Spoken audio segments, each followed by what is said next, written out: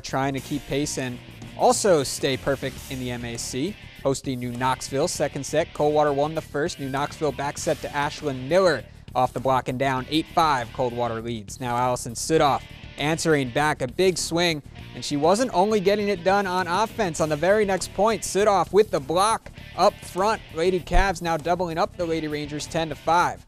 The visitors hanging tough. Caitlin Lammers a block of her own to get with New Knoxville within four.